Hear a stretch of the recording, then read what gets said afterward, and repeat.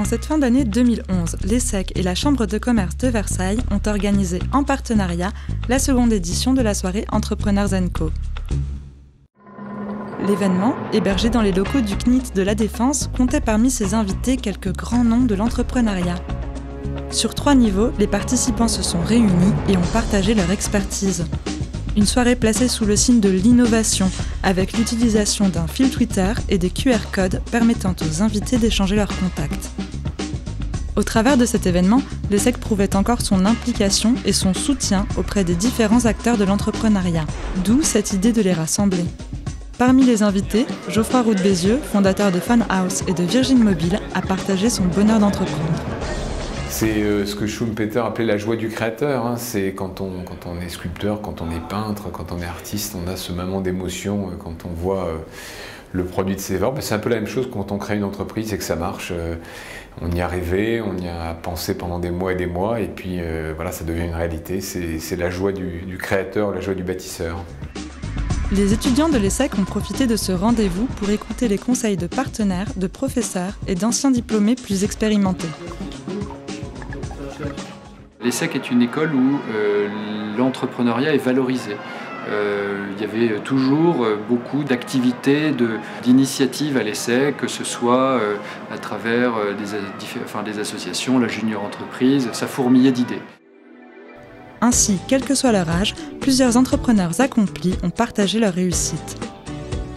je pense qu'il n'y a, pas d'âge pour être entrepreneur, j'en suis un peu l'exemple puisque j'ai créé ma boîte dès que j'ai pu, c'est en sortant de mes études, même avant, hein. je suis un drop-out euh, comme il y en a beaucoup d'autres.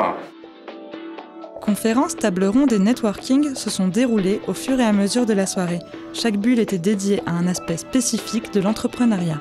Le dîner des entrepreneurs, ça permet de rencontrer des gens, ça permet de, de partager son expérience et peut-être d'inspirer d'autres gens à se lancer. Pour moi, c'est vraiment ça l'entrepreneuriat, c'est prendre les gens par la main, les aider. Quand on est mis dans ce, dans ce, ce bouillon de culture-là, eh ben ça, ça peut aider les gens.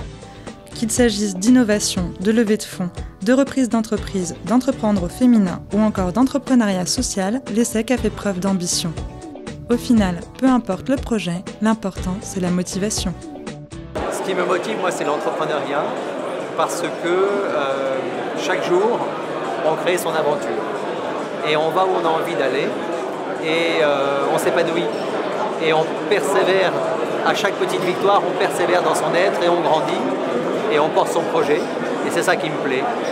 C'est que j'aime bien le, le créer ou le reprendre, le développer. Et puis une fois qu'il est arrivé à une certaine taille, j'aime bien m'intéresser à d'autres projets. Ce qui est super dans cet événement, c'est que finalement on mixe tous les, entrepreneurs, parce qu'avant tout ce sont des entrepreneurs, qui entreprennent au service d'une mission sociale, environnementale ou euh, simplement pour créer une entreprise euh, capitalistique.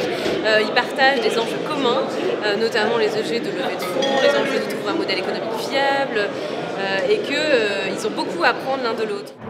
L'école compte aussi sur l'appui de 33 partenaires conseils qui accompagnent les jeunes entrepreneurs de l'ESSEC grâce au système de chèque conseil. Ils étaient d'ailleurs tous présents afin d'apporter conseils et expertise aux participants de cette soirée. Résultat, depuis 2000, les chiffres sont là. 125 projets incubés, 100 entreprises créées, pas moins de 600 emplois générés et surtout un taux de survie de 90% à 5 ans. Cependant, ces chiffres prometteurs n'ont fait oublier à personne le contexte économique actuel. Nous sommes convaincus que euh, pour le bien du pays, on retrouvera de la croissance, on retrouvera de l'emploi si et seulement si on crée de plus en plus d'entreprises. Et donc si et seulement si de plus en plus de gens choisissent euh, de partir dans ce genre de vocation. Paradoxalement, cette période de crise euh, difficile, avec des pans entiers d'économie qui peuvent, qui peuvent s'écrouler, c'est aussi une formidable période pour démarrer, pour se lancer. C'est un monde d'opportunités pour ceux qui savent les saisir. Les baroudeurs de l'entreprise se veulent donc rassurants, convaincus qu'une bonne idée sérieusement développée rencontrera le succès. Pour les jeunes pousses de l'entrepreneuriat, c'est un monde de possibilités qui ouvre ses portes.